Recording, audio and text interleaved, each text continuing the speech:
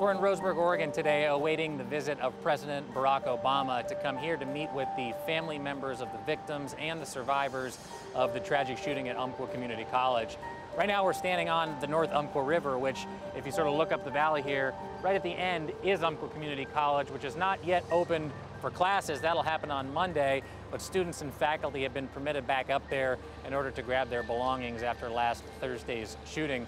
We expect to see the president actually probably fly directly overhead on Marine One and then into downtown Roseburg, where he's going to take his meetings. The president most likely will also be faced with sizable protests when he comes into Roseburg uh, because of his comments about gun control immediately after the shooting from the White House. It cannot be this easy for somebody who wants to inflict harm on other people to get his or her hands on a gun.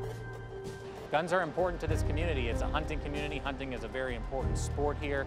Deer season actually just opened last week, right around the time of the shooting.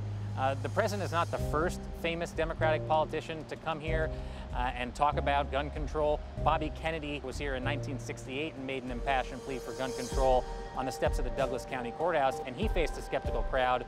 The president will probably also face a skeptical crowd today. Either way, it is going to be a pretty historic day in Roseburg.